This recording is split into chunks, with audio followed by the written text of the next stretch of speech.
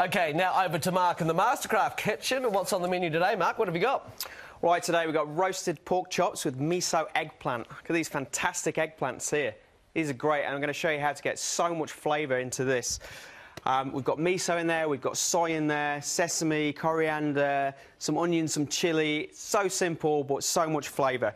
So first job, you need to get a lot of colour on eggplants. I think a lot of people sort of steer away from eggplants because they don't really know sort of, you know, what to do or they just fry it off quickly and you don't really get that sort of flavour in there. So this recipe, I'm going to walk you through it to get that flavour in there. So I'm just going to dice it up first. So just taking the top off and then just do some nice slices. Leave the skin on and then just go across into a nice dice and I'm just warming a pan up on the stove so I want to get it nice and hot because if you look at the flesh of the eggplant it's quite um, spongy okay so if you don't fry the eggplant in a really hot pan. It's just going to soak up all that oil and go really soggy. Okay, so you need a really hot pan and you want to get some nice colour on that. And colour equals flavour. So that's the first process. So that's what I'm going to get onto now. So I get it nice and hot. So you can see that, you can hear that frying now. And you don't want to overcrowd your pan either. Okay, so that's enough. So I'm going to do this in two batches. So I'm just going to cook it till we get a really nice colour. I'm going to drain it off on just some absorbent paper and then let it cool down and then we'll get the rest of the base in there and then finish off cooking the eggplant a little bit later. So just lightly season it as we go because we're going to add soy later so we don't want to put too much salt in now. So check back a little bit later, we'll finish the eggplant and then we're going to roast those pork chops in the pan to perfection. We're all here in the Mastercraft kitchen, and I'm joined by the stars of Daffodils, who have their big gala performance this Friday night. We'll talk to them very soon a bit more, but I thought we'd get them in the kitchen. Colleen and Todd, great to have you on the cafe. Thanks yeah. for joining us. Thank you. And welcome to our Mastercraft kitchen, where I always yeah. make mistakes. And you um, did Hudson and Halls live, Todd, which was a yeah. huge success, by the way. Um, so you'll be quite familiar with cooking. Yeah, although I'm bound to, you know, burn something, being Hudson and Halls. true. Blow true. something up, burn a turkey. And if it was truly Hudson and Halls, we'd probably have some wine hiding under the table. Uh, and Colleen, what do you like in the kitchen? Oh, you know, yeah, I leave I leave it to the mister. Right. Can you julienne some ginger? No, no, no, no. No? Okay. No, I need what? my fingertips. Okay, sweet. Well, I'll tell you what, Mark, what are we cooking and what can we help with? Right, so we got the miso eggplant on first. So we've cooked the uh, eggplants here, so you can see that beautiful oh, yeah, colour on that. Yeah, that looks good, doesn't it? So yep. just take a while and you need some good heat and keep doing that. You don't want to add too much oil, but it will suck the oil up, so keep adding little bits at a time. it can be quite boring, eggplants. What else? do you eat eggplant? Yeah, yeah. What do you do with it? Um, putting miso on it, actually. Okay, cool. yeah, yeah, it's okay. delicious. What about you, Colleen? You're an eggplant fan? I really love moussaka, which is like a, oh, that's a Greek, good. Greek dish. Okay. So that's something you can do with... Yeah, no, that's yeah. great. It works works great with uh, moussaka. Sort of layers of eggplant and then mince and some yeah. spices oh, in yeah, there. It's really, really like nice. Eggplant lasagna. Mm. Well, it is, yeah. Or okay. even fry it and then just deglaze it with some balsamic vinegar. Nice Brilliant. work. And you get those sort of... Mm different textures and, and flavours in there. It's great. Right, so we've got the garlic in there. Yep. We're just uh, julienne the ginger, so we're yep. just putting that in there. Just sort of softening that up. Mm-hmm. Get the flavours out, and then we'll make a sauce and we'll put the eggplant in there. Right, so now I'm going to show you how to cook the pork chop. Okay. So I've got a nice, nice pan on there. there. You go. Oh, you go. No. You, you start cooking.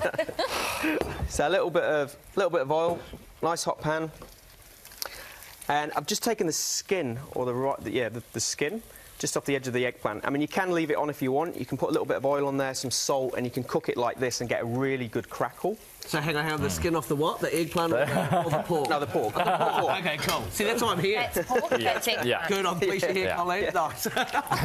Do you want Mike's job?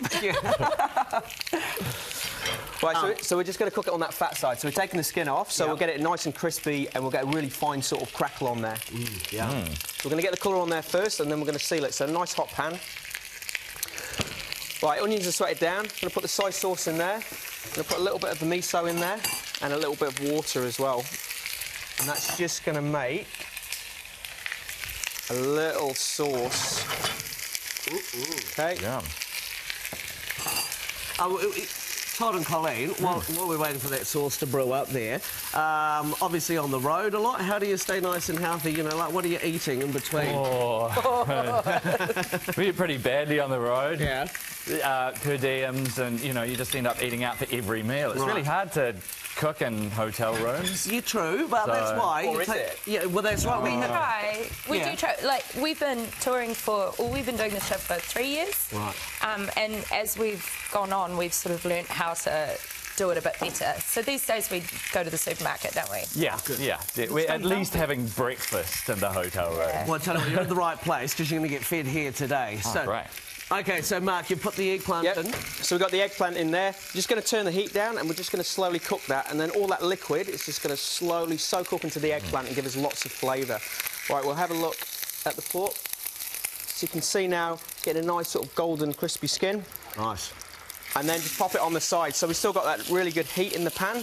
Keep the high heat, get a nice colour on both sides. And we're just going to keep flipping it every sort of minute or two until it's cooked.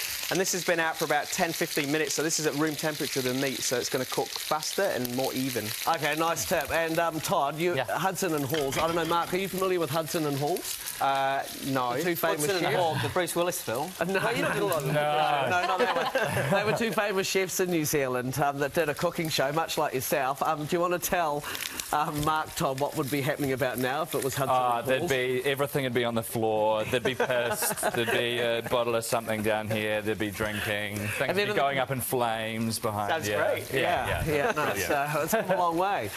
Actually, he probably is a bit like Hudson and Halls. I don't know what. yeah, off camera. So, so you get a nice colour now. So we're just going to keep turning it, build up that colour and cook the pork. Right, eggplant is on the plate. We finished that with some coriander, some um, sesame oil, uh, and then we've got these beautiful pork chops, which have just basted in a little bit of butter and some thyme just to finish them off. I mean, look at that. It looks absolutely fantastic. Right, you can come and try this now, guys. Nice work. So, uh, bring it over. Quick piece of advice: I always overcook my pork. What's your secret to getting it right? Don't cook it for too long. Okay, and rest it. Rest it. That's it, you've got to rest it. So you want to prod it, it wants to have a nice little spring to it, and you've got to rest it for two, three minutes. Okay, from the- And then you can finish it off in the butter just to warm it back up, and you'll have a nice, moist, juicy chop. Yum. Okay, I can't wait to taste it. What are you doing tomorrow? Uh, tomorrow I'm going to do venison meatloaf.